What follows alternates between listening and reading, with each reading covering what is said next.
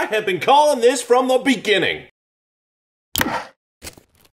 Hey there, hi there, ho there, Andrew here with a little The Walking Dead talk. And if you have a connection to the internet, which you should, it's 2016, then you have already seen The Walking Dead Season 7 sneak peek teaser trailer, which is called Right Hand Man. So let's get into a few things, but before that, spoilers. Now, I've been saying for a while that I know that Maggie is the one that gets this. Actually, I've been saying it since the end of Season 6, and it only makes sense if you have read the comics or if you have ears, then you've already heard by now that Glenn is the one that gets the bat from Negan in the comic book series. It is a pretty gruesome scene, and it makes Negan even more of a bad guy because Glenn is such a good guy. But right now we are talking about the TV series, so how do we amp up what we've seen in the comic books to the TV series? You do that by having Negan kill somebody, and that somebody being Maggie. Now, are there other expendable characters in The Walking Dead? Yes, there is. I've said that Eugene is basically pointless right now because he has given Rick the plans on how to make bullets from scratch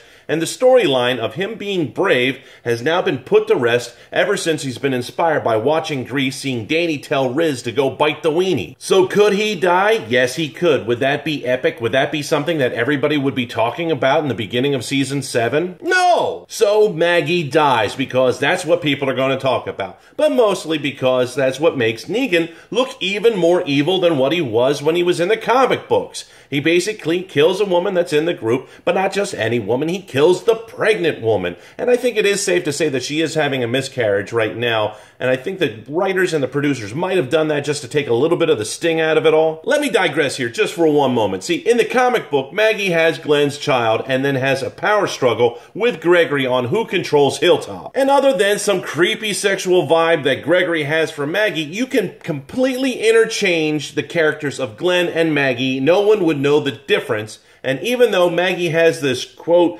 believes in Rick Grimes thing in the comic books, she's upset that nothing was done to save Glenn's life. Now keep following me here on this one. Glenn in the show idolizes two men, and those two men would be Hershel and Rick. And he's been with Rick since the beginning, actually saved him when Rick was trapped in a tank back in Atlanta. But imagine, just for this, Imagine Glenn seeing the man that he reveres as a hero let the woman who is pregnant with his child and he loves, the daughter of the other hero that he idolizes, die.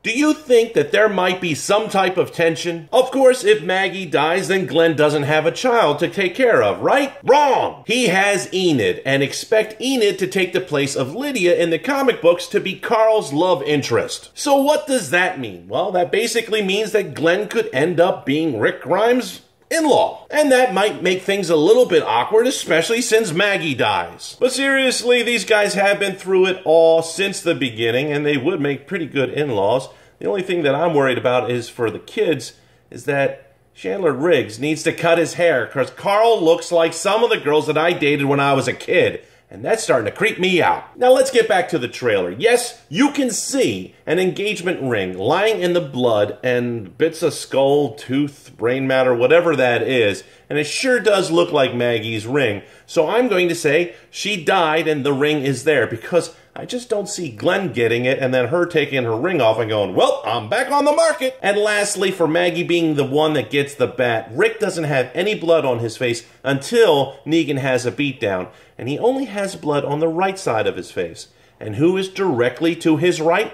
Maggie. So let's go the next step in this trailer, and that is when Negan is talking about how important it is to have a right hand, and then drags Rick into the trailer. And the trailer is directly behind them, so that means that Rick didn't move at all during the beatdown, so again, Maggie is the one that died. But getting dragged into the trailer, does that actually mean that Rick might lose his right hand via his own hatchet? That Negan has? Well, if you look in the comic books, the governor took Rick's hand already, and have you ever noticed that the governor looks a lot like Danny Trejo? Anyway, we have seen other characters replace other characters in major plot points. Examples would be Bob replacing Dale with his leg being eaten by the cannibals, or Hershel replacing Tyrese with the governor decapitation scene, or Denise getting an arrow in the eye instead of Abraham, and possibly Maggie getting the bat instead of Glenn.